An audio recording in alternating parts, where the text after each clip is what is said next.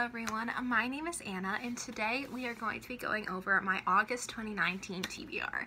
So if you didn't know, I make book videos a lot on this channel and um, I haven't really done any like TBR videos that are for a specific month. I've done like my Reading Rush TBR, but I haven't really done like just a monthly TBR and so I want to try it, see how it works. Uh, this is a really over ambitious, overly ambitious TBR and so I don't expect to read everything that I mention here, but I do, this are kind of books that I'm prioritizing, I guess, in the month. So I have like my big stuff that I want to get to and then just some stuff that I'd like to get to if possible. So let's just get into it. How I decided I'm going to start to pick the first five books on my TBR is that on my phone I separated um, my different um, I went through my entire TBR and separated all it all of them into five different like genre categories and so I'm going to be putting each of those into randomizer each month and then the first book that is not a sequel that come to something that I haven't read yet um, that is not a sequel something I haven't read which isn't a lot in many cases but it happened this month um, I will be using as my book um, for that and so I for this. Um, the first category is um, contemporary slash romance, and so I'm going to be reading The Upside of Unrequited by Becky Albertalli, which is a book that I've been wanting to read for a while. This just follows a girl named Molly who is kind of socially awkward, and she doesn't, she likes a lot of people, but I don't think she's really ever been in a relationship before, but it's just some, like, it's a little cute, like, contemporary novel, and I've read um, Simon vs. the Homo Sapiens Agenda by Becky Albertalli, and I absolutely loved it, and it was so good. That's, like, the sticker for the movie, Love Simon on there. But yeah, I wanted to read some more of her book as well as Adam Silvera's books that I can read What If It's Us because I own What If It's Us. So yeah, I just would really like to get to this All one. the books one. are like my books that are, it's my challenge to read those because it's not really in my control how long they are. It's just kind of a challenge that I want to give myself.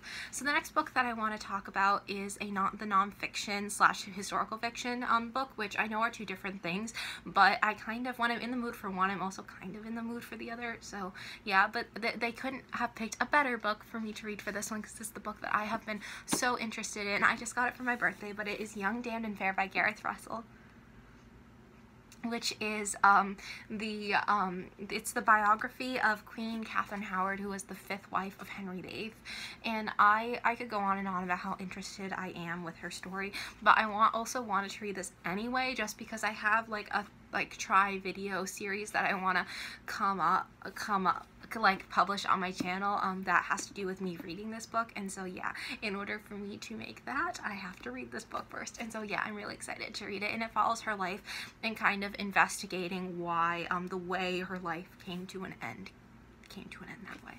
And so a lot it just kind of investigates a lot of the politics behind um, that and yeah Next book is fantasy slash sci-fi, um, which I was expecting to get more of a, like a high fantasy novel for this one, but I do have some other like high fantasy sci-fi books on my TBR, so I guess it's fine. But this book, I thought it was contemporary when I first picked it up, but now as I start hearing about it and actually hearing what the genre is, it is technically a sci-fi book, and so um, it's an absolutely remarkable thing by Hank Green. If it's not a sci-fi book, I'm sorry, I'm just to read it anyway, but yeah, I, ha I, I haven't read that much sci-fi, and so I do want to read it. It's about a girl named April May, who is, um, who like takes a picture of this like statue that randomly appears and she kind of becomes overnight famous because the statue that she was like one of the first people to spot is like coming. It's like it's like showing up all over the world.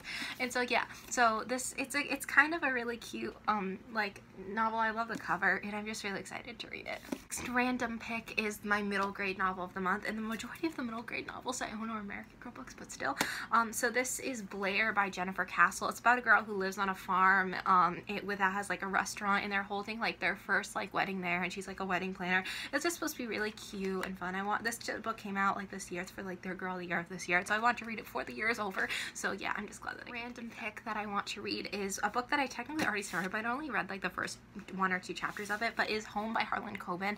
It's about um it's a um like crime thriller um like trigger for like um like kidnapping. It, it's not like I don't think you like I haven't read it, so I don't know if the like victim discusses it, but it's about two boys that were kidnapped like 10 years ago and one of them shows up and they're kind of like investigating the mystery of where the other one is and why the other one didn't show up and how it is happening. And so I haven't read enough to, in it to know if like like how what gets like talked about or what gets shown, but just like a trigger warning for that, and like I don't want you to like read it if it does offend you in any way. So yeah, this novel has sound sounded really interesting to me. I don't read a lot of adults, and I don't really read thrillers, so I really hope this isn't scary.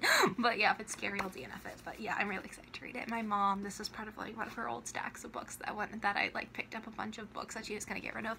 But yeah, lastly, I want to talk about some of the other books that I want to get to this month. Um, and also just to know any books that are part of my like reading rush reading plans that I don't get to this month, which I did change slightly. But um, any ones that I was planning to read for the reading rush that I don't read are gonna be like added to this. But I'm not gonna mention them here because like I don't want to talk about it. Um, but it'll like I don't want to talk about them again. But if they don't show up in my monthly wrap up, just know that they're gonna be in there. So I, i will link my reading rush TBR down below. So yeah. Um, so the first book I want to talk about is a book that I already started and I want to finish this month. I just I had to put it on hold because the reading rush and I didn't want to like read too much for the reading rush because I didn't want to get into a reading slump. But hey, it's the reading rush day five and I've only read one book. So yeah, yeah. Um, so this is um, Water Tower by um, James Morris, who, if you didn't know, James Morris wrote Skybound, which if you saw my channel in the beginning, I never shut up about Skybound. I love Skybound so much. And I love this book so far so much. I, am going to finish it. I'm to finish it. I know I'm to finish it. And this is one of the cases where I got the sequel for my birthday, and so I'll probably read the sequel um, in either, maybe even in August, but possibly in um, September. So yeah, I'm so excited to read this. Yay!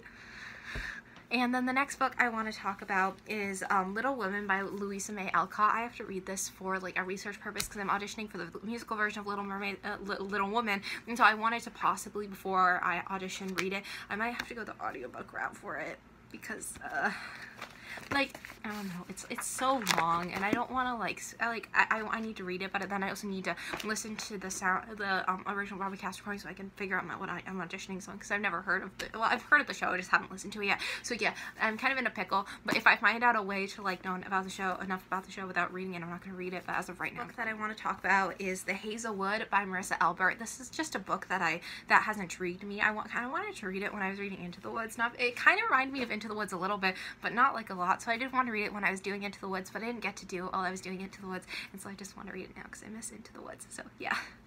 Um, then next I want to read, second to last, is Meet Cute by a bunch of different authors. This is an anthology by a bunch of different like contemporary authors, and they wrote a bunch of different scenarios with a bunch of different people meeting, but you don't get to see like the development of their relationship. It's just how they meet each other, and so I am pretty excited um, to read this. I read like the part of the first story, and I didn't stop because I didn't like it. I just stopped because I had to go. So um, I, I'm not even gonna count this as a book I started to finish, but yeah, I'm really excited to read this, and yeah.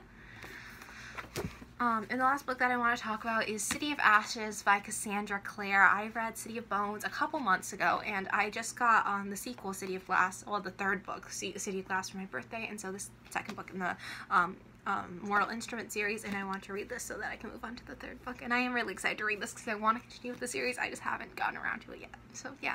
So once again, thank you all so much for watching. And if you don't know who I am, my name is Anna from Book BookSawyer. I publish videos every other day, switching off between a, a theater, a book, a video about books and a video about theater. Um, so if you're not interested in theater, I'll have a book video up in four days from when this is being published. But if you are interested in theater, I'll have one up in two days. So yeah, I'm so excited for all of this. I love you all so much, and I hope you have a great um, reading month in August. So love you all so much, and goodbye.